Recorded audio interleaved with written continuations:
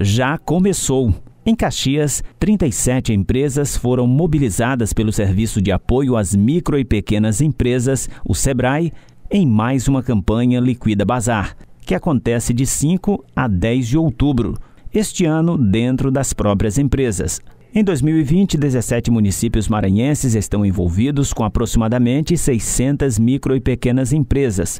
O lançamento da campanha foi exatamente em uma data importante, o Dia da Micro e Pequena Empresa, 5 de outubro. Esse ano, por conta de todas as limitações, né, as dificuldades trazidas por conta da pandemia, a gente teve que se reinventar né, e, e fazer o Liquida Bazar 2020 em um novo formato. E a campanha ela vai direcionar as pessoas, os consumidores, a procurarem as lojas que estão é, participando do Liquida Bazar.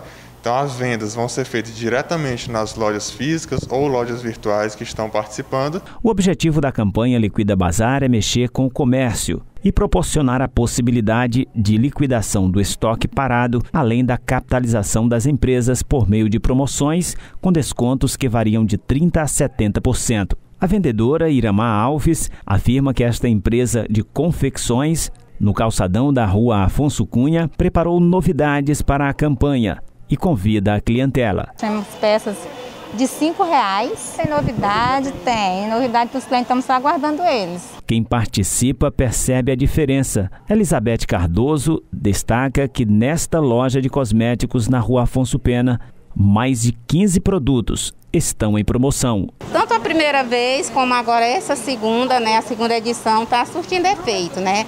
Dá uma alavancada nas vendas, com certeza é, deu, impulsionou bastante o comércio. Em 2019, mais de 2 milhões de reais em cinco municípios maranhenses foram movimentados. Este ano, a meta é maior, 5 milhões de reais. A gente tem uma expectativa de um volume de venda de torno de 5 milhões em todo o estado nessa semana de 5 a 10 de outubro. Então, realmente, a gente observou que é um evento é uma campanha que traz resultados consistentes para o empresário e também para o consumidor final, que consegue adquirir seus produtos, seus serviços com preços bastante acessíveis.